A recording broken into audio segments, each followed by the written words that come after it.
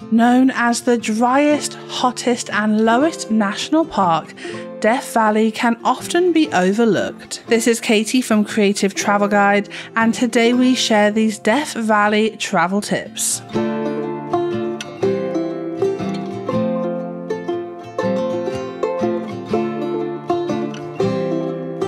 Looking for more travel tips? Make sure to hit subscribe and ring that notification bell.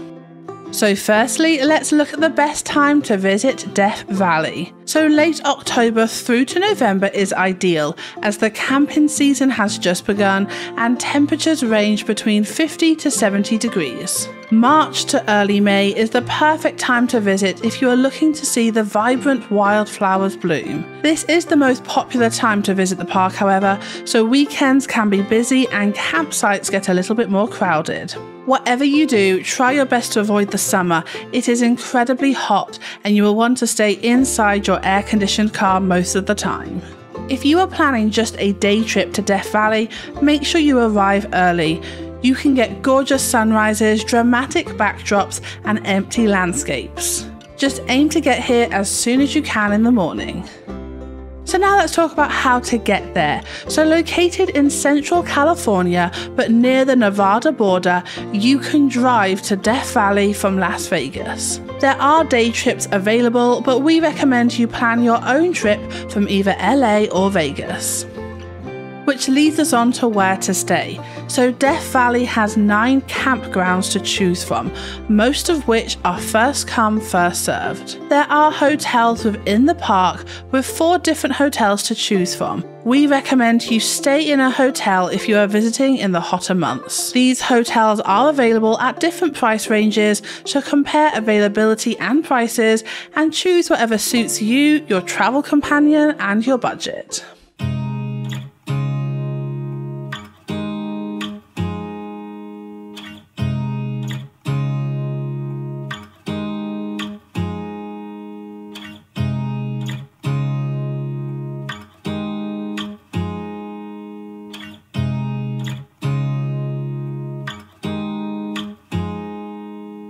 Now, because this is a very unique national park, there are a few things that you need to remember before you go.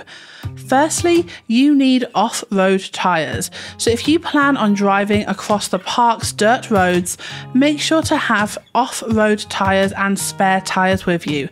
Flats are common in this national park.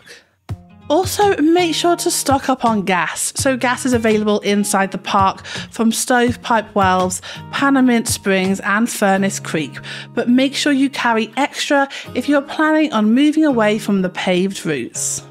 Also, bring plenty of water. Like we said, this is a very dry national park and it can get very warm no matter what time of the year you are visiting. Make sure to bring plenty of water with you. Also, bring maps. Phones don't tend to work out in Death Valley, and GPS systems are unreliable here.